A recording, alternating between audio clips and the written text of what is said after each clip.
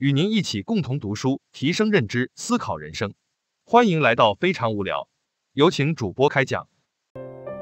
今天我们为你准备的书是《不纠结的世界：幸福人生的十二堂智慧课》。我们每个人都经历过一种心理体验，叫纠结。那是一种内心一团糟、非常痛苦、自己也说不清楚的不幸福、不快乐的感觉。爱纠结的人，什么事儿都能纠结起来，大到职业选择、谈婚论嫁、投资理财，小到旅行去哪儿、晚饭吃啥、买这款衣服还是那款衣服，他们几乎每天大部分时间都困于选择，难于内心对不确定性的挣扎，苦于对美好理想状态求之不得。纠结让我们做事拖延、瞻前顾后、身心俱疲，甚至开始厌恶生活。有办法能不再纠结吗？当然有。今天我们要读的这本书《不纠结的世界》，就来帮你建立一套正确的思维方式，让你学会理解纠结、面对纠结。再次遇到那些同样的问题，你会本能的做出反应，正确处理纠结，收获本应该有的幸福生活。这本书的作者是詹姆斯·范普拉，他是《纽约时报》超级畅销书作家，美国电视台的著名制作人，还是美国全国广播公司热播节目《另一个世界》的常驻专家，受到粉丝的热烈追捧。《不纠结的世界》这本书在美国刚一上市，就立刻登上《纽约时报》畅销书排行榜，受到数百万读者的喜爱。这本书被引进到全世界二十多个国家。帮数千万读者治愈了纠结之痛。接下来，我将为你解读这本书的精华内容。你将听到三部分内容，每部分都有四个知识点，也就是一共十二条智慧。第一部分，我们说一说纠结是一种什么状态。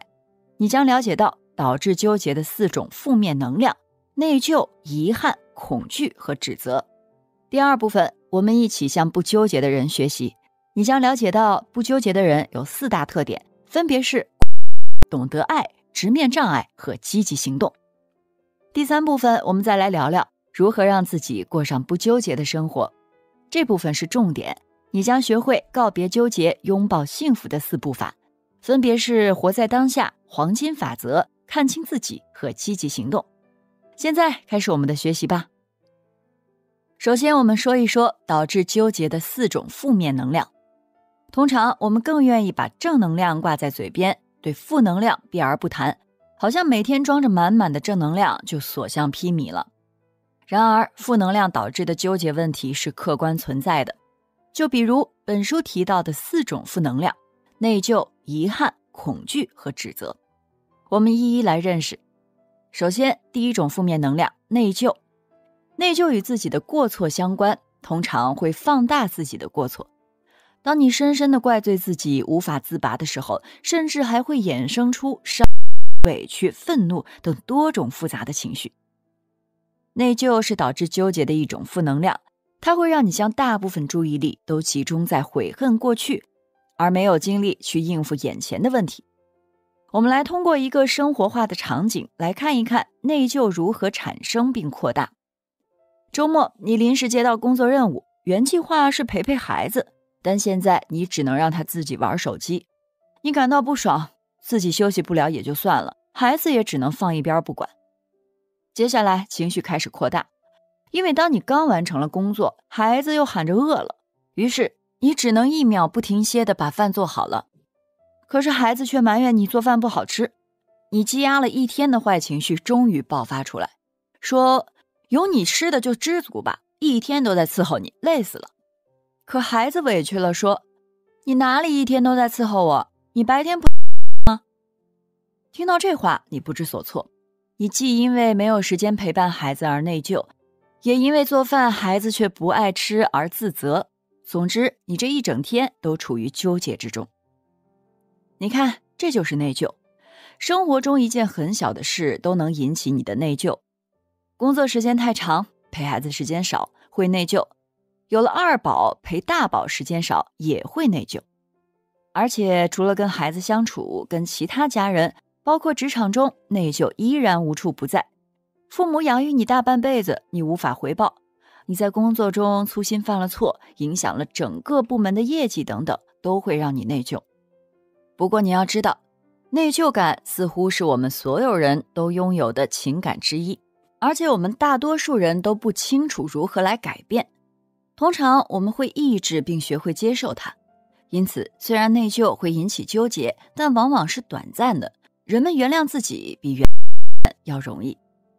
接下来，我们看看导致纠结的第二种负面能量——遗憾。所谓遗憾和内疚一样，也是一种指向过去的负面能量。遗憾的人很喜欢说这样的话：“如果我当时怎么样了，现在就怎么样了。”比如，如果我当时对那个男生勇敢表白了，我的人生会不一样。如果我当年嫁给了另一个人，现在的生活可能更幸福。如果我考上了北京的大学，我现在就不用发愁北京户口了。这话听起来挺气人的。开句玩笑讲，如果你长翅膀，你怎么飞不上天呢？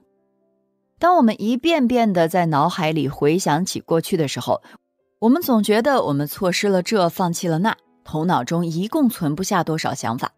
现在几乎全部想法都停留在过去，这就会导致你对现在感到不满。你会把过去遗留的问题带到现在，一边感到缺失，一边想去弥补。你和现在的爱人产生误解，甚至争吵，也会让你对当下的工作失去激情。遗憾更可怕的地方还在于，它让我们在漫长的生活中逐渐变得意志消沉、自我哀怜，对外界充满怨恨和愤怒。对于遗憾这种负面能量，我们必须意识到，过去的事其实我们已无能为力。俗话说：“过去的就让它过去吧。”我们唯一可以改变的是你正在做的事儿。比如，你现在心怀遗憾，很消极，但如果从下一秒你强迫自己不要受遗憾的影响，变得积极，你会发现这也没什么难的。下面再谈谈第三种负面能量——恐惧。恐惧会用不同的方式打击你，让你陷入困境，还会拖你的后腿，让你放慢前行速度，裹足不前。恐惧的力量会拖住我们的后腿，将我们置身于困境中。恐惧不光是来自于 遭遇，还与过去和未来有关。我们分享一个书中的例子：有一个小男孩叫马丁，他从一岁多会走路那刻起就处于恐惧中，这跟他的父母对他的教育有关。当他撞到了桌子，爸妈就会极其恐慌地把他抱起来。下雪的时候，父母让他待在屋里，吓唬他外面不安全，唯恐他会弄湿着凉。这种不正常的担忧让马丁对周围的人和事物产生了潜在的不信任感。长大后，不管是上学、结婚、工作，各种各样的人生选择，马丁都是畏畏缩缩的，既不知道自己该相信什么，也不知道如何选择。内心被这种恐惧萦绕着，极为纠结。现在我想问问你，你有没有这种内在的恐惧呢？比如担心自己身体有潜在的健康问题，而吃不好睡不好；担心孩子早恋而疑神疑鬼；害怕生活没有保障，拼命攒钱，遇到喜欢的衣服也不敢买；又或者你认为别人都是不可信任的，你很难与其他人顺利合作。这些都是恐惧惹的祸。你在做事的时候会瞻前顾后，非常纠结。希望读完这本书，你能放下恐惧感，勇敢的生活，在这个世界上找寻到更多的爱和快乐。最后，我们再来看看第四种负能量——指责。我们在很小的时候就学会了指责，长大后走向社会，虽然学会了伪装，但心里还是会把很多问题归咎于他人。比如，我给你读几句话。这是一位妈妈常挂在嘴边的几句话，你感受一下。她经常这样嘀咕老公：“嫁了他这样的男人，不知道体贴关心人，也不会挣钱，嫁给他之后就没享过福。”她也会这样评价孩子：“这倒霉孩子跟他爸一样，都只知道自己享福，没人关心我，我好命苦。”关于家庭，她还会嘀咕。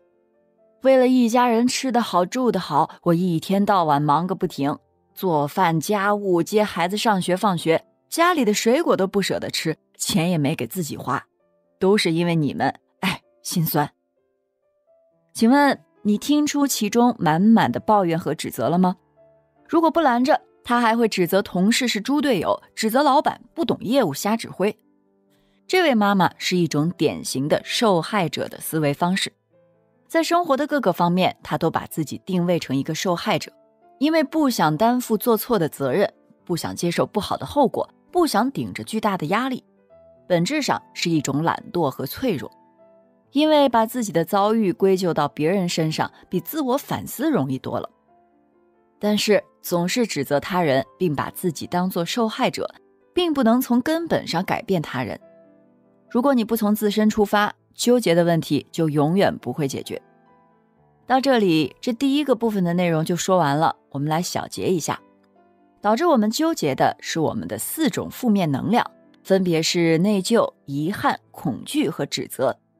相对于快乐、开心、爱这些负能量，往往给生活带来负面的影响，会让你的生活失去活力，离幸福越来越远。不过，生活中也有一些人可以做到乐观、洒脱，很少纠结。他们为什么不会陷入这些负面能量呢？接下来，我们就一起认识一下不纠结体质是什么样，一起向他们学习。不纠结的人共有四个特点，我们一起来看一看。不纠结的人，第一个特点是宽容，懂得宽容自己，也懂得宽容别人。首先，懂得对自己宽容的人，对自己不会那么苛刻，他们不会因为自己做错了一点什么而深深怪罪自己。比如我们前边提到过的那位因为吼了孩子而深深内疚的妈妈，如果她对自己不那么苛刻，也不至于陷入纠结。其次，懂得对别人宽容，你就不会因为一点点小事就斤斤计较，不会陷入埋怨甚至仇恨。比如，你的老公总是不帮你做家务，你是选择宽容还是选择记恨在心呢？如果选择了记恨在心，那是什么样的感觉呢？可能你心里一直在犯嘀咕：都是你的错，你对不起我，我恨你，都是因为你，我的生活才会如此糟糕。记恨在心会让你陷入了指责的负面能量。不纠结的人可以做到对自己宽容，对他人也宽容。但你可能会说，宽容两个字说说容易，真碰见让人纠结的事儿，谁能做得好？的确，就连本书作者也说，在这个世界上，宽容是最难学会的一课，因为这意味着我们放下尊严，选择宽容。我们虽然没有直接改变那些伤害我们的人。但是却把我们自己从消极的仇恨的想法中解脱出来，这就是宽容最重要的作用。它不管别人，只服务于你自己，可以让你放开那些糟糕的思想包袱，跳出负面能量。提醒自己要宽容，在实践中学会去宽容，这就是向不纠结的目标开始行动的第一步。接下来说说不纠结的人的第二个特点：懂得爱。你觉得自己懂得爱吗？这里同样包括爱自己和爱别人。当你懂得爱自己，你便会接纳自己的脆弱、自己的不完美。当你偶尔吼了孩子，你便不会深陷内疚。当你真正懂得爱你的家人，你会意识到相互指责是最具杀伤力的。你会懂得和家人在一起，平安喜乐、柴米油盐才是最美的幸福。当你真正懂得爱，你知道过去的都已经过去了。眼前的才是最值得珍惜的。爱眼前的人，抓住眼前的工作机会，为了自己想要的幸福生活，一点一点去努力。看到了吗？所谓懂得爱，其实是一种欣赏的态度。因为爱，你才能吸收更多积极和正能量。爱能扩大，让我们的心灵变得更强大，成为强大的自己，让你成为不纠结体质。这就是不纠结的人的第二个特点。我们来看看不纠结的人的第三个特点：直面障碍。所谓障碍，也叫困难、麻烦，我们都不喜欢障碍，在面对障碍时会本能的退缩。但书中有一句话却很有智慧，是这样说的：没有任何事情会糟糕到我们无法从他们身上学到东西。的确，在直面障碍时，我们不能回避，是需要正面面对的。面对它，就有机会战胜它。而且你会因此更强大，否则那就是一个过不去的坎。书中举了海伦·凯勒的例子，对，没错，就是那个写出《假如给我三天光明》的伟大女性。作者也非常欣赏她。海伦·凯勒一岁半的时候，一场重病夺去了她的视力和听力。没过多久，她又失去了语言表达能力。接二连三的遭遇，想必对于任何一个人来说都是巨大的打击。如果是你，你怎么办？这个障碍就摆在这儿，要么打败他，要么被他打败。海伦·凯勒没有胆怯放弃，也没有抱怨指责，更没有被恐惧和指责的负面能量困住。他选择直面生命赋予他的这些障碍，不然呢？都已经这样了，还能怎样？可是，相比海伦·凯勒如此巨大的打击，我们很多人却往往被极小的障碍困住。比如，我们害怕失业，害怕孩子考不上好大学，害怕老去。我们抱怨社会不公平，抱怨收入太低，命不好。你看，直面障碍是一种多么难能可贵的心智啊！它可以帮助你从经历的磨难中学习，把障碍视为一种机会，不再因为障碍而纠结。下面我们再来看不纠结的人的第四个特点：积极行动。你可能会发现，别人请求或要求你做的事，你大都会有不情愿的念头；但是自己主动想做的事，就会很积极，既没有不情愿，也没有不耐烦。我们还是拿海伦·凯勒这位伟大女性举例：当她双目失明、双耳失聪时，她完全可以躲在自己的角落里痛哭、懊恼、抱怨，甚至放弃。人们也都能理解，因为世界对她确实很不客气。但是海伦·凯勒并没有这样，他选择了积极行动。他在老师的帮助下，吃力地学习盲语，适应这种既定的生活状态。遇到一个困难就解决一个困难，积极行动，别的什么也不想，因为想也白想，只有行动才能带来改变。最终，她成了全世界尊敬的女性。说到这里，我来给你小结一下。这部分主要讲了不纠结的人共有四个特点：宽容、懂得爱、直面障碍和积极行动。我们要学习不纠结的人这四个特点，也可以说是四个优点。如果你能真正学会，相信你的生活中的纠结将不复存在。不过，可能又有人问了：书中讲的挺好，可听完就容易忘，有什么方便记住的办法吗？有的。接下来，我们一起在摆脱纠结的路上实践一番，学习这本书教给我们的预防纠结的四步法。第一步叫做活在当下，享受你能感知的美好。活在当下，在时间线上是区别于过去和未来的。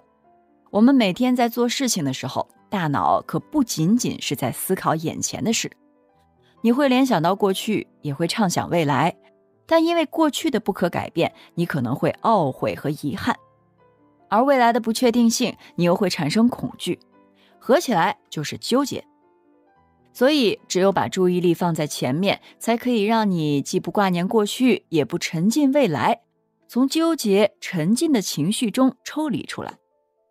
每当纠结时，就想一想这样一个口诀：此时此刻，你面前是什么样的事情？你可以做什么样的选择？第二步，运用黄金法则。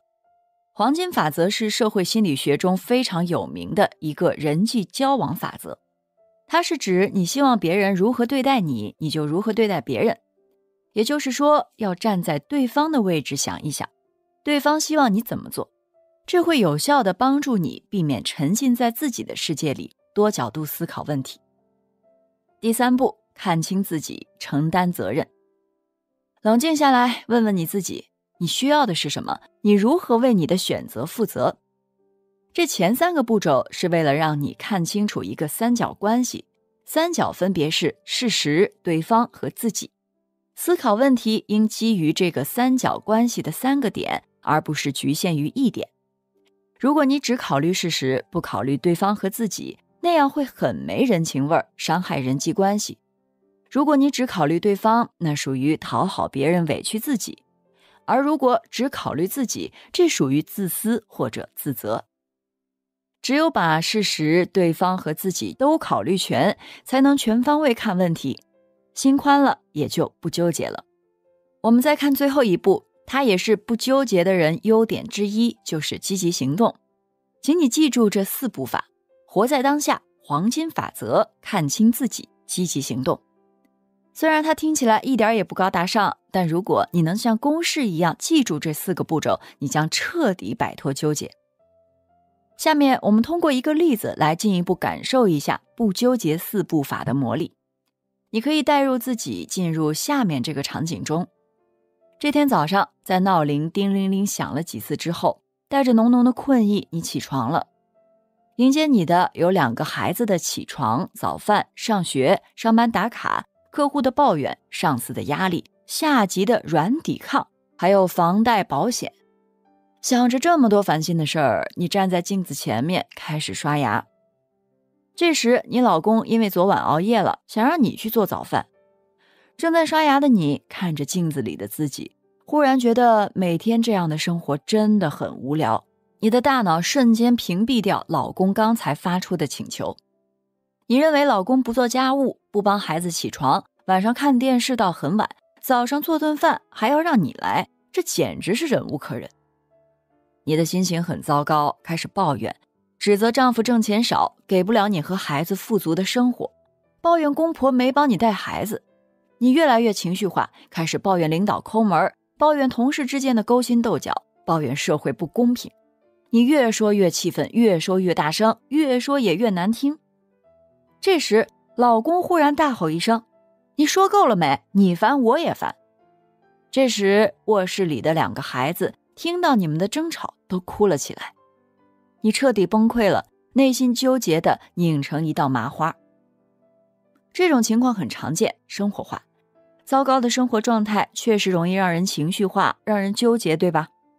现在我们开始使用不纠结的四步法去解决这个麻烦。第一步，活在当下。我们来看一下当时发生了什么。你在照镜子的时候，看着镜子中的自己。你看到了细微的皱纹，你开始担心未来，之后又陷入对老公、公婆、同事的指责中，这属于对过去事情的追溯。但是，请你立刻抽离出来，我们用活在当下的思考句式。此时此刻，你面前是什么样的事情？你可以做什么样的选择？答案是很明显的。此时此刻，你早上起床有很多事情要做。但是你最眼前的是你老公说想麻烦你做顿早饭。不论怎样，你要时刻提醒自己，现在周围情况是什么，现在要做什么，这是非常关键的一步。它将帮助我们摆脱对过去的懊悔和对未来不确定性的恐惧，让我们活在当下，解决眼前的问题。接下来第二步，运用黄金法则思考句式：对方的需求是什么？你的老公需要你帮忙做饭，这时候换位思考一下，如果是你早上实在不爱起床，想让你老公帮忙做饭，而你老公如果对你也爱答不理，你什么感受？这样想一想，你就知道该怎么对待别人了。很简单吧？这就是黄金法则，任何关系都适用。最主要是你要想到这一步。下面第三步，看清自己，承担责任。我们想一想。为什么你会在做顿早饭这么一个生活小插曲上引发了这么大的纠结呢？你想要的到底是什么？其实，女人永恒的需要就是被关爱。因为这天早上，你自己心里想起了一系列糟糕的事情，看到了自己越来越差的皮肤，想到了孩子、老公、婆婆等等，你陷入到遗憾、恐惧和指责中。你需要的恰恰就是老公的关心和帮忙。但你有没有想过，即使你老公对你再熟悉，他也不是你肚子里的蛔虫。你早上这一系列心理活动，他怎么可能猜得到？你的心结，如果你自己不会清晰完整的表达出来，别人凭什么要理解你呢？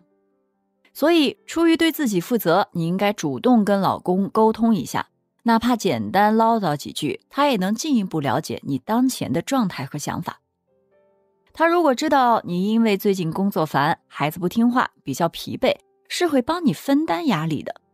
但如果你不说，又刚好赶上他想懒一懒，然后你在这边纠结发火，他只能在那边发懵。